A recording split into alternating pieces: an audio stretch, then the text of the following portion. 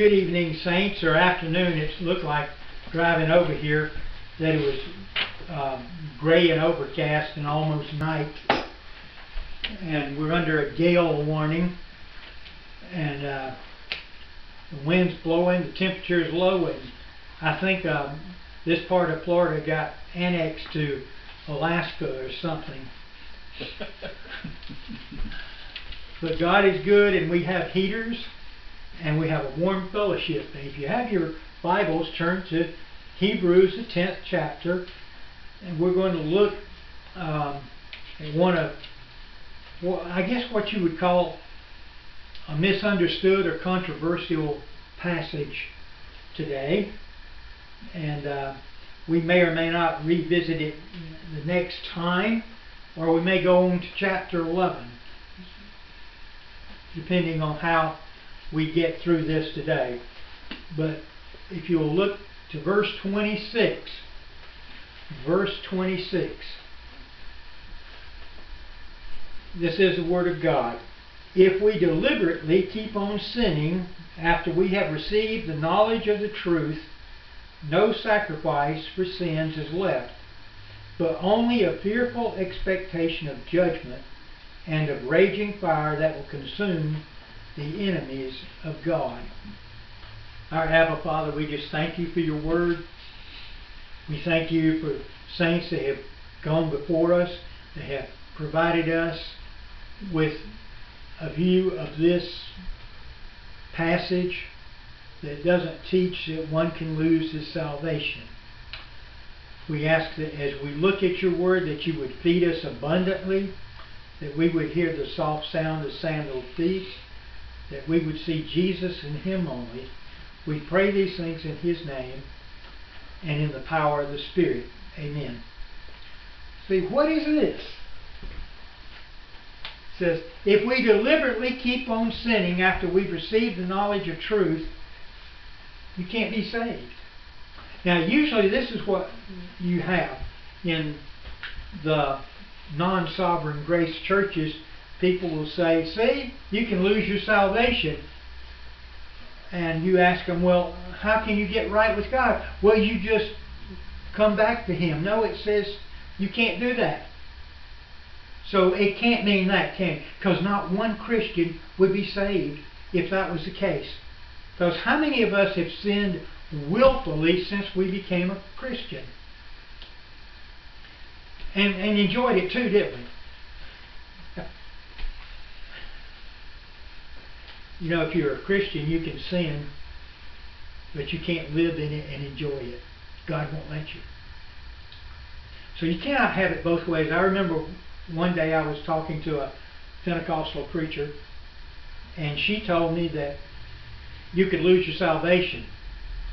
And I said, "You mean if you're walk, if you're driving down the road and you get mad at somebody because they cut you off, and you have a bad thought run through your head, and you get in a car wreck and die that you'll go to hell? She said, yeah, unless you repent. What kind of salvation is that? What kind of eternal life is that? You can't have it both ways. You're either cut off or this doesn't mean what she's teaching and a lot of other people teaching. In uh, my experience, I won't speak to yours, but most sin is first degree. you know what I'm saying? We do it. Now there, there's sometimes we step in stuff that uh, we shouldn't have, or we get caught unawares. But as James says, we're we're enticed by our nature to sin. So if one has thoughts, desires, intentions, and actions contrary to the revealed will of God, how can anyone be saved? This is how false theology starts. There's some groups, the Wesleyans, say there's a second blessing, and right right with them are the Pentecostal groups. And you ask them, well, if you're you have a second blessing where you become perfect, and they say, oh no, you're perfect in love. I said, no, no, no, no, no, you can't you can't have it that way. If if you're entirely sanctified, how can you sin? And then you got other people that say that Christians can't sin. if they sin, they weren't Christians. What kind of theology is that? Well, thankfully, that's not what this passage is addressing. False confessions abound in the church. But that's not what this is talking about either. Historically, what is the author speaking to? He's talking about these Hebrew Christians returning to the Old Covenant. Okay? Now, there is some information in here that is for us too. But historically, that's what he's talking about. We see last week in verse 15. The Holy Spirit testifies to us about this. This is a covenant I will make with them after that time. I will put my laws in their hearts. I will write them on their minds. Their sins and lawless acts I will remember no more. And where they have been forgiven, sacrifice for sin is no longer necessary.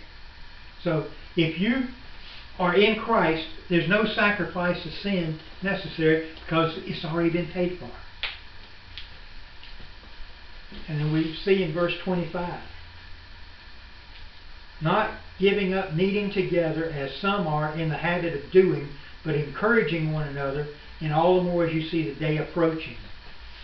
The day approaching, what does that mean?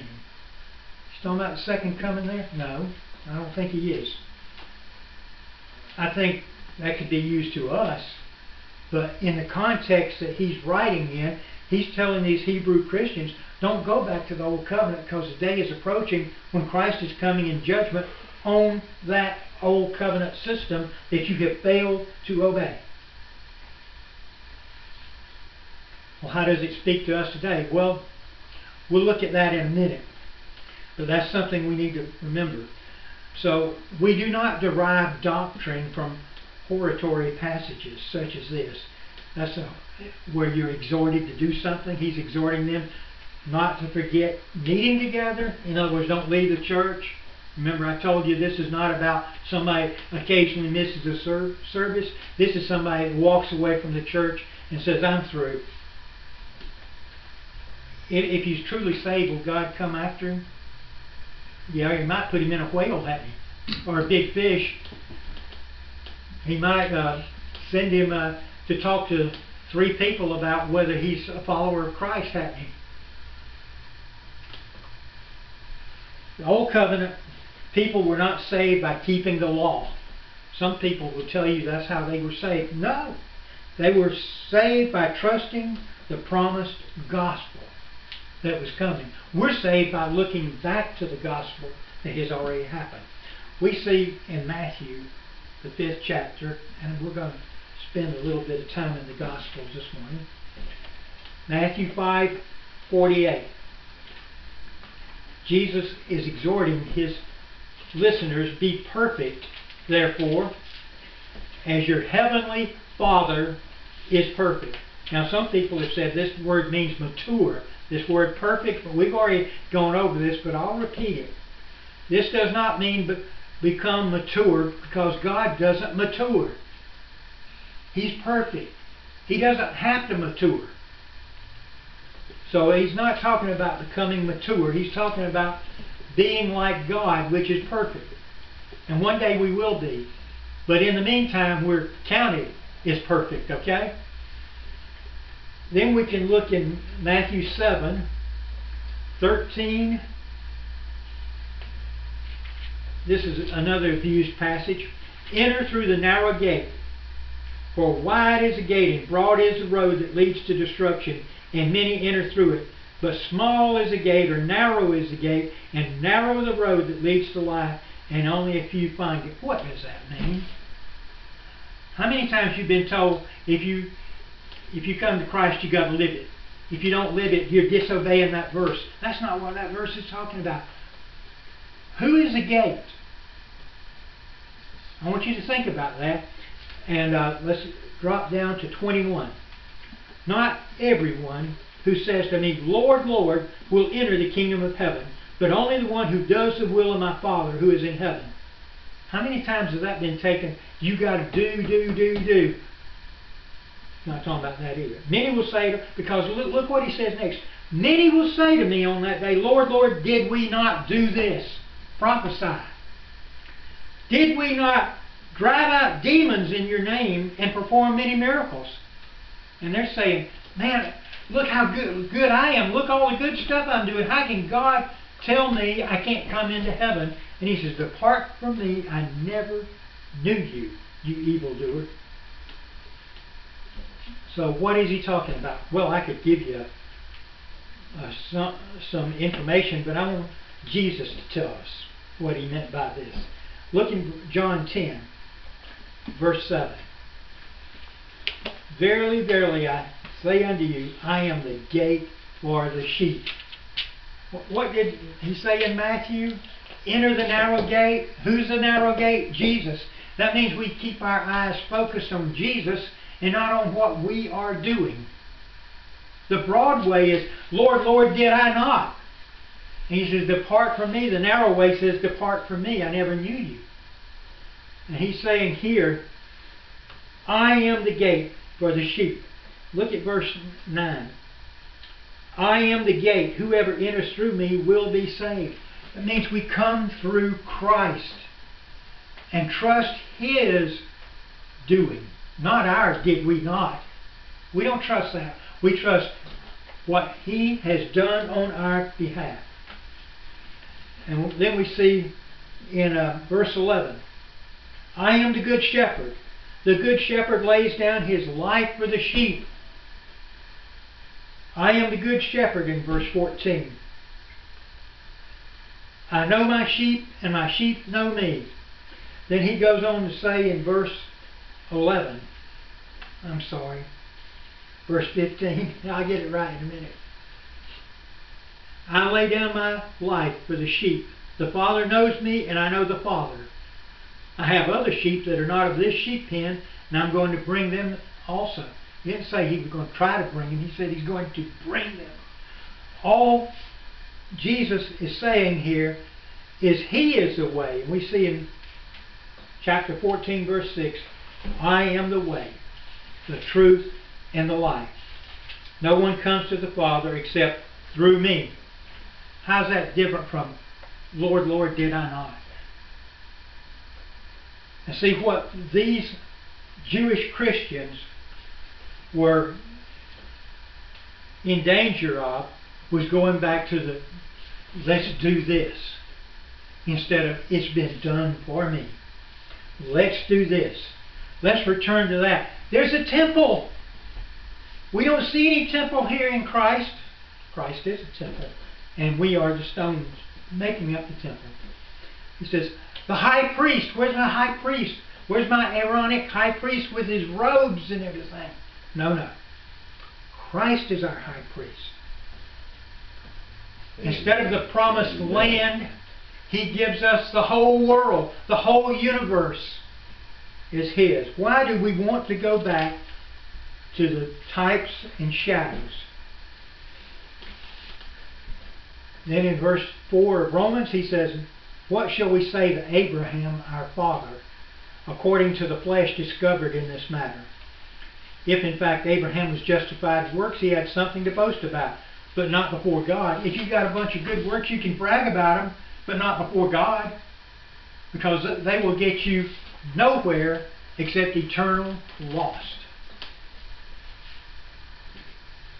What does Scripture say? Abraham believed God and it was counted to him as righteousness. He believed that the Savior was coming in the lineage of Isaac. Now it says he preached the gospel to him elsewhere in the chapter, but we don't know how much of the gospel he got. But we know it wasn't, do this, Abraham, and I'll reward you. No, he said, believe in me and I will reward you. He goes on to say this, to the one who does not work but trusts God who justifies the ungodly. Are you ungodly? When you went to school, did you have uh, the A students and the B students and then my friends?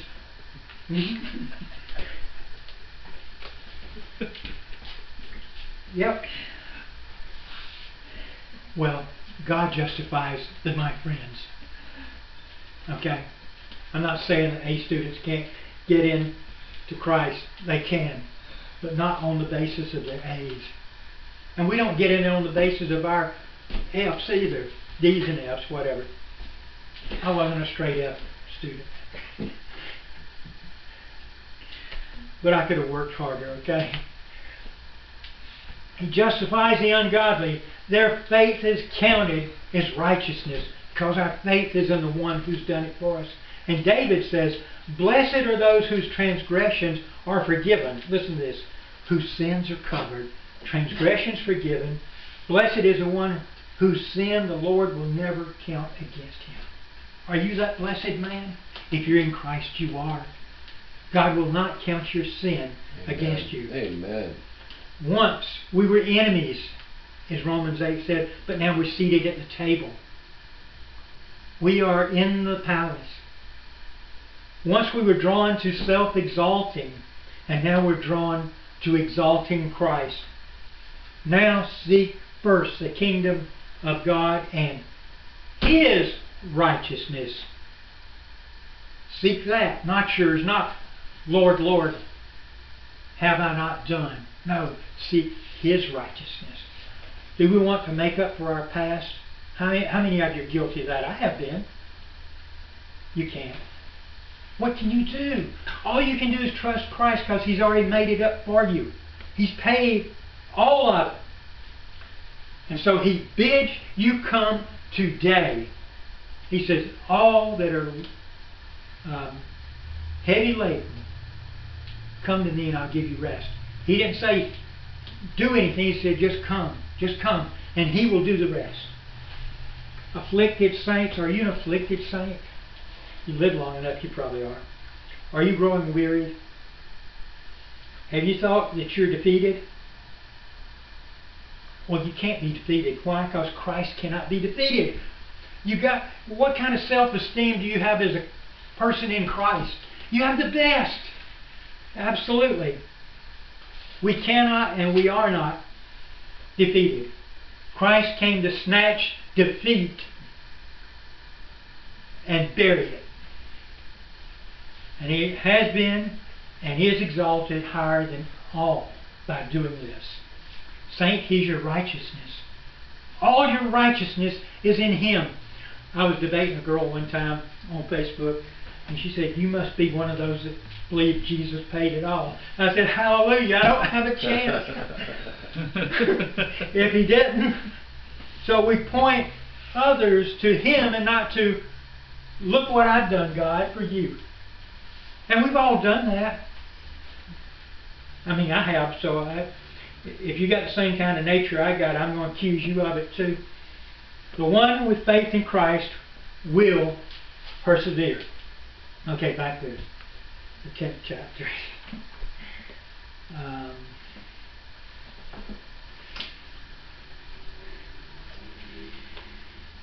let's see. Anyone who rejected the law of Moses died without mercy on the testimony of two or three witnesses, like picking up sticks on the Sabbath. Uh, like taking some silver and a, a nice set of clothes and hiding them in your tent after Jericho. He says, with two or three witnesses, these people died without mercy. How much more severely do you think someone deserves to be punished who has trampled the Son of God underfoot? Who has treated as an unholy thing the blood of the covenant that sanctified them, and who has insulted the Spirit of grace? For we know him who said, It is mine to avenge, I will repay. The Lord will judge his people. It's a dreadful thing to fall in the hands of the living God. So, what is, is he saying here? If in the Old Covenant, and you were given these outward things to do, and you didn't do them, and there were two or three witnesses, you could be put to death for certain things. Other things, there were other punishments for. So he's saying, eternally speaking, if now you've been offered the Son of God by grace, by trusting in Him, and you trample that underfoot, how much worse do you think your punishment's going to be? It's not going to be a stoning of death. It's going to be eternally lost in a place called hell that burns forever and ever. And he says, God will judge his people. Now what does that mean? Has God judged you? Yes, in the person of your substitute, right? And those that were not judged then will be judged in the future, right? And they will fall into the hands of the living God. Christ is our redemption, saint, our reconciliation, and our holiness.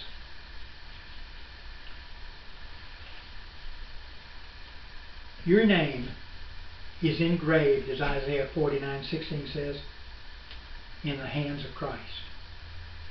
And it can't be taken out. And your name is engraved in his heart as he prayed for you the night before he was betrayed. Or the night he was betrayed. The night before he went to the cross. You can draw near now, saint, and trust and rest in him. Well, you, or what, what's your status? Are you unsure about your status? Well, Peter has something to that. 2 Peter 1.10 Therefore, my brothers and sisters, make every effort to confirm your calling and election. How do you do that? You look to Christ. You don't look to your election, look to Christ. Look to Christ today. We're told in Isaiah 45, look, 22, look to me and be saved. This is God speaking through Isaiah to the children of Israel. Look to me, Israel, and be saved. All the ends of the earth, look to me and be saved. For I am God and there is no other. By myself I have sworn, my mouth has uttered in all integrity a word that will not be revoked. The word will not be revoked if you look to Christ for your salvation. The promises of God are not taken away. That's what he says in Romans. Before me, every knee will bow and every tongue will confess. And you can do that in this life and spend an eternity with Christ, or you can do it in the next life and spend an eternity apart from Christ. What about this man, Christ?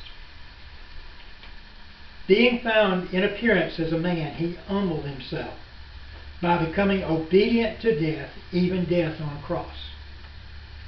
Therefore, God exalted him to the highest place. Hallelujah.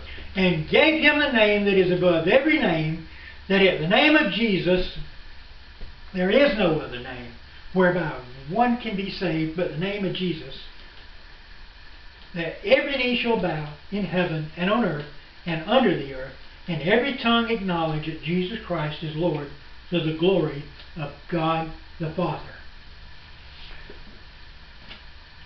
I would leave you with this.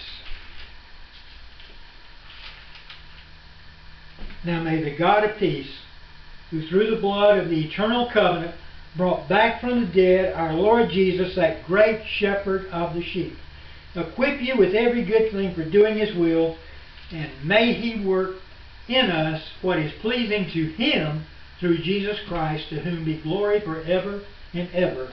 Amen. Amen. Thank you.